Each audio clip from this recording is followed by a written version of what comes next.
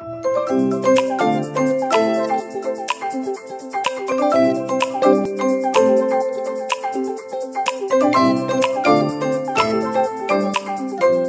everybody, welcome back to another video and welcome if you're new.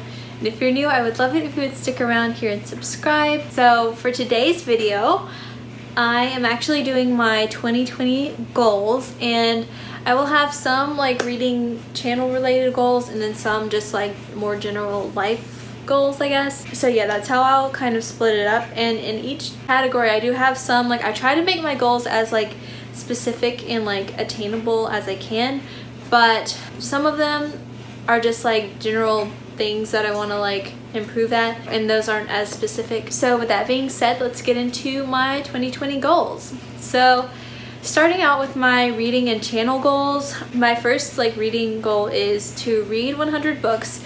Last year in 2019, I read 140 books, so that's like a ton.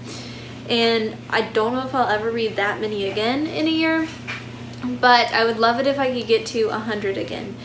And so far I'm actually on track with that. I'm a few books ahead of schedule so yeah that's really exciting and the next two are related to like my different um, platforms I guess so I know it's not all about numbers and I love doing like YouTube stuff regardless of how many subscribers I have, but I do have some like subscriber goals. So when I am filming this, I have like 370 something, I think.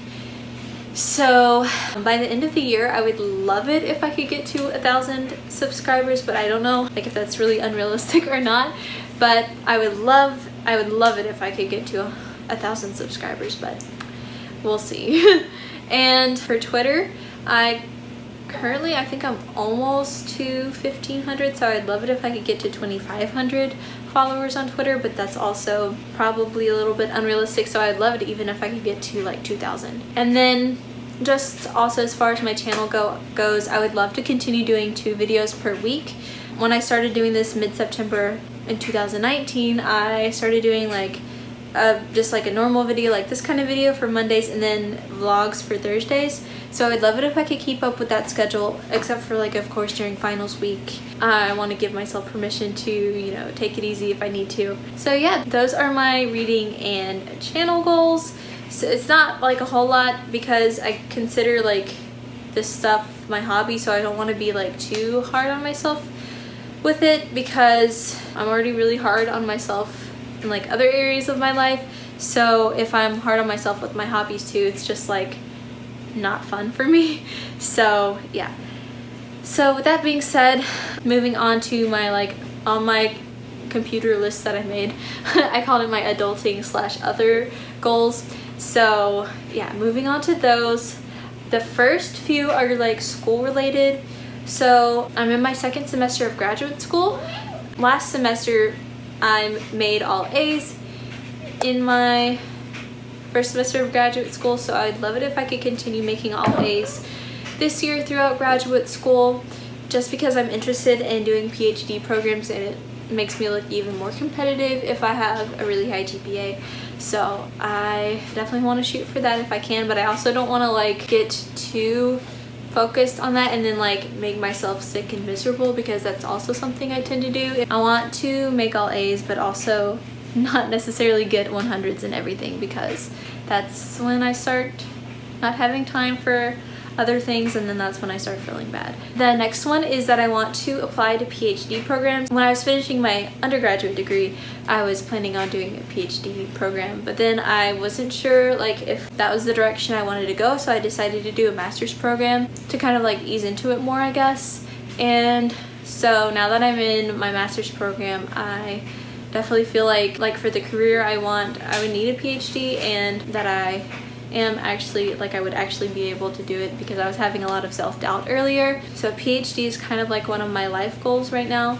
And so if I apply to start in fall of 2021 then the applications would be due December like early December late November of this year.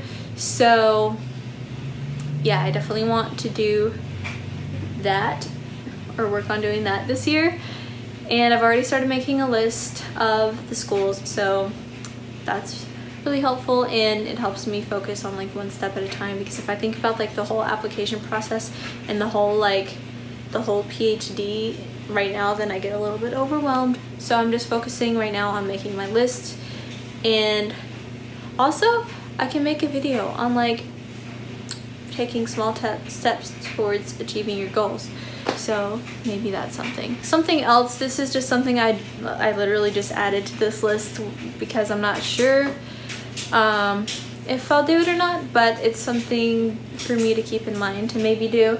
Um, and that is to submit a manuscript to a journal for like publication of some of my academic work or like with my thesis like if there are any projects related to that that I can do something to get a publication or like just some some kind of like academic publication to put on my CV for applications for PhD and everything. Yeah, so that's all those school ones. And then I also wanted to eat more at home. And This is one of those more general ones because I don't want to say like, I don't want to eat at home every day except for like eat out one time a week because I know that like I'll get overwhelmed and not do that. Okay, so like I hate cooking. Also, if you can hear my um, dryer in the background, sorry, but that's okay.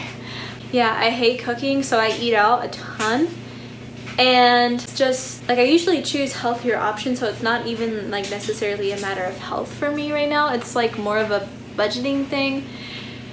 And I definitely want to be able to eat at home more. And I don't have like a specific number of days that I want to eat at home more. I just want to try to do that more like in general. And related to that I also have a savings goal. So like I'm horrible, horrible at saving money and I definitely want to get better at that, but it's like really hard.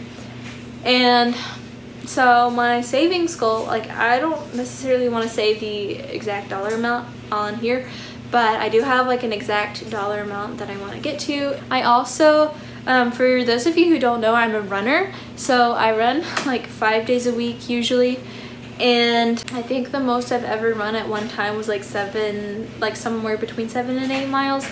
But I would really love by the end of the year to be able to run 10 miles at once. I just have two more general ones and they're kind of just like, I guess kind of mental health related. So um, something I, um, I feel like I got a lot better at last semester was balancing and balancing school life, work, having a social life, having hobbies and that kind of stuff because like in undergrad I would constantly just be working and never have time for like socializing or hobbies besides like exercising. So I did a lot better of that last semester so I'd love to continue doing that and then like also I got better at listening to myself and like what I would like what I needed to feel better I guess so like I have struggled a lot in the past with like anxiety and depression and different things help me with different moods even if they're both like under the broad umbrella of like anxious or depressed. There's still like different subcategories I guess underneath those that I feel and like learning how to like what I need to do in that moment to help me feel better. Like sometimes I need to go on a run. Sometimes I need to journal or like write affirmations. Sometimes I need to hang out with a friend. Sometimes I just need to have like a really chill day and not do anything. And sometimes I just need to be like productive and get a lot of work done. So also continuing to like listen to myself and doing what I need to do to stay in a good place and lastly, something that's also more general is to just not beat myself up as much with like eating because I have a tendency or I've been having a tendency the past like since probably the middle of the year last year-ish to feel like really guilty after I eat anything. It doesn't matter like what it is or how much it is but like just to feel guilty after I eat which I definitely don't need to because for one thing everybody needs to eat and for another thing like I also exercise a lot which you don't have to like exercise to earn eating or anything like that. But like it's just not something that I need to be to beat myself up so much about. So yeah I want to get better about that and I'm not really sure the steps I'm going to take quite yet but I do have a counselor who is helping me and like friends and stuff. I'm sure there are more goals that I could think of that I would be like, oh yeah, I would love to do that, but I didn't want to like make this list like too long. And those are really the things that I want to focus on this year. So yeah, that's it for my goals. And let me know what your goals are. If you have like different, like if you have like reading goals, channel goals, um, school goals if you're a student, um, work goals if you're not, or like parenting goals if you're a parent, anything. Just let me know what your goals are and, and hopefully we can like motivate each other to continue pursuing our goals. And yeah, with that being said, thank you so much for watching and I hope to see you soon in my next video. Bye!